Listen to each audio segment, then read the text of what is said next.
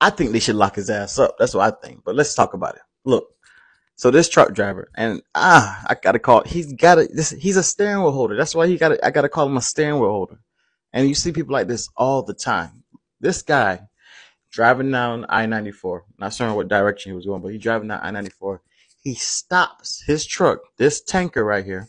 He stops it in the right lane. Just stops. They don't even know why he stopped, but he just stopped in the right lane. He didn't stop on the shoulder. It was two lanes. He stopped in the right lane.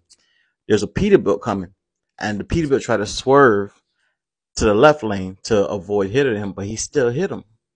What happened was it caused a fire, and the person in the Peterbilt, they were unalived. They didn't, they were unalived, and they are charging the guy who stopped in the right lane for it. Lock his ass up, in my opinion. I could be wrong. I don't know if he was experiencing any medical situation, so I don't know that extent. They're not saying nothing like that.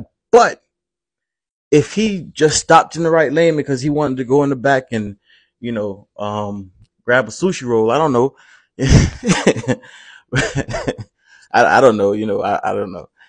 If he wanted to go grab something, you know, and if you're wondering why he would have went to the back and got a sushi roll, but you know, it's just a, a sad situation. You know, do you guys think that he should be locked up? Also, he was driving a tanker, and the tanker, you know, was filled with uh, ethylene glycol, and you know that kind of, I think, drained down the hill as well, which sucks because so many different things have been kind of like going into the water system, and it's like, you know, that's a little concerning because we bathe with the water and drink the water it's a lot of things and train derailments. I don't know.